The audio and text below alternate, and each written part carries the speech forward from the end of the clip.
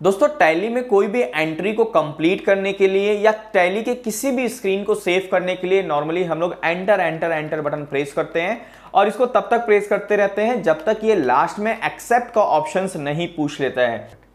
But क्या आप जानते हैं गाइस कि आप टैली में एक शॉर्टकट की का यूज़ करके उस स्क्रीन को एक सिंगल कमांड से सेव कर सकते हैं। उसका शॉर्टकट की है कंट्रोल प्लस ए जैसे हमने कंट्रोल प्लस ए किया, वो स्क्रीन क्या हो गया? सेव हो गया।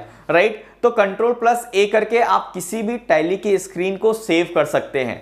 उसी प्रकार से अगर टैली की स्क्रीन को सेव नहीं करना है तो तो हम उसको बैक आने के लिए स्कैप स्कैप स्कैप बटन का बार बार यूज़ करते हैं और उस टैली स्क्रीन से क्विट कर जाते हैं राइट एक सिंगल शॉर्टकट की का यूज़ करके एक सिंगल कमांड से आप कैसे टैली स्क्रीन से बाहर आ सकते हैं विदाउट सेविंग द स्क्रीन उसके लिए शॉर्टकट की क्या है? आप कमेंट बॉक्स में हमें ज़रूर बताइए। थैंक यू इसी तरीके से टैली के टिप्स एंड ट्रिक्स जानने के लिए इस चैनल को सब्सक्राइब करिए लाइक करिए एंड शेयर करिए। Thank you so much